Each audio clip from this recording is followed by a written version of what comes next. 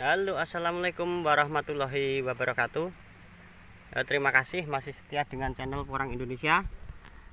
Channel Porang Indonesia kali ini akan membahas masalah pupuk Yang paling bagus untuk lahan porang kawan ya. Eh, Kita lihat ini Kita di bawah pohon bambu ya. Nah ini pohon bambu. Kita menemukan pupuk yang paling bagus kawan. Ini kita lihat ini ada dedaunan daun-daun bambu yang kering ya. Daun bambu yang kering ini paling bagus untuk pupuk e, kompos alami ya. Kita lihat seperti ini. Ini e, pohon bambu yang sudah lama dia lapuk lapuk e, kita lihat ini menjadi sudah hancur ya. Sudah hancur lapuk. Ini paling bagus untuk pupuk kawan. Ini kita lihat juga ya akar ya akar bambu terus daun kering yang sudah membusuk lapuk bertahun-tahun. Ini bagus sekali kalau kita korek sampai ke bawah ya. Kira-kira ini lah ini kira-kira ini sampai eh, 10 cm ya. Ini kita lihat ini tanah ini sudah mawur gembur kawan. Ini sangat cocok untuk campuran pupuk ya. Untuk tanam porang juga oke. Ini untuk pot-pot apa tanam bunga hias juga oke ini pupuk paling bagus. Ya bisa dikatakan namanya uh, uh, top soil kawanku ya. Top soil itu daun daun-daun kering yang sudah lapuk bertahun-tahun dia sudah hancur. Ini paling bagus untuk campuran uh, media tanam kawan. Ya tanahnya ini sudah mawur gembur. Ini akar-akar ini kalau uh, sudah lembut ini ya sudah lembut ini bagus sekali untuk media tanam sangat bagus un kandungan unsur haranya ya. Ini bagus sekali untuk media tanam porang ataupun media tanam tanaman yang lain. Ini paling bagus dibanding pupuk-pupuk e, kimia yang lain ya seperti e, kimia. Maksud saya ya dalam bahasa umum itu kimia. E, dalam bahasa umum kimia itu yang e, produksi pabrik ya kita channel perang Indonesia lebih bagus uh, memakai pupuknya seperti ini kan nah ini. Ini kita lihat ini sangat um, kita korek ya kita korek mawur. Nah ini.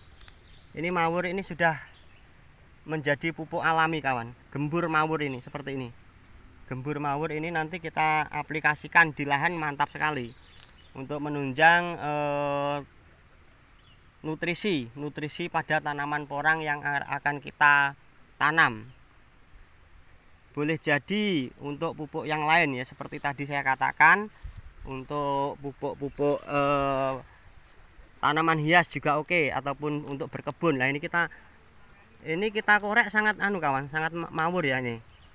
Biasa kalau di bawah pohon bambu ini eh, sudah menjadi pupuk alami kawanku. Ini tanahnya sudah mawur sekali. Nah tanah sudah gembur ya. Jadi kita tadi di lahan rencana tanam porang ya yaitu rencana tanam porang di lahan itu. Kita lagi eh, duduk-duduk eh, melihat menemukan eh, pupuk eh, yang paling bagus. Pupuk yang paling bagus untuk media tanam ya ini top soil kawanku. Top soil ini pupuk eh, alami ya dari daun-daun kering dari ranting kering yang sudah lapuk bertahun-tahun. Karena lahan ini kawanku ini sudah lama e, tidak e, terjamah ya. Karena ini di bawah naungan pohon bambu kawan ya pohon bambu yang berduri e, sehingga daun-daun yang kering jatuh jatuh ke tanah ke, ke bawah seperti ini. Ini bisa kita manfaatkan untuk pupuk ya bisa kita manfaatkan untuk pupuk. Karena ini sekali lagi saya katakan ini sudah mawur gembur kawan. Cocok sekali ini. Cocok untuk tambahan nanti di media tanam. Seperti tadi saya katakan bisa diaplikasikan di tanah di lahan untuk eh, tanaman porang juga oke ya. Untuk tanaman hias juga oke. Ini eh, banyak sekali daun-daun kering nanti bisa kita manfaatkan kawanku ya. Seperti tadi saya katakan ini sudah lama sekali tidak terjamah oleh uh, jauh dari aktivitas uh, manusia aktivitas orang ya. Ini sudah lama sekali tidak terjamah sehingga eh, banyak pupuk alami ya pupuk kompos ini. Nah ini. Ini sudah alami kawan. Sudah alami mawur gembur kalau kita lihat nah, nah seperti ini. Ini sudah mawur gembur nah ini. Sudah mawur gembur sudah oke ini. Buat eh, tanaman media ya untuk campuran media tanam apa pun ya.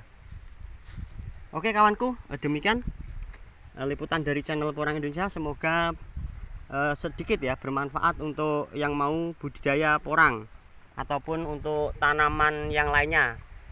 Media tanam paling bagus ya ini. Oke. Saya ucapkan terima kasih.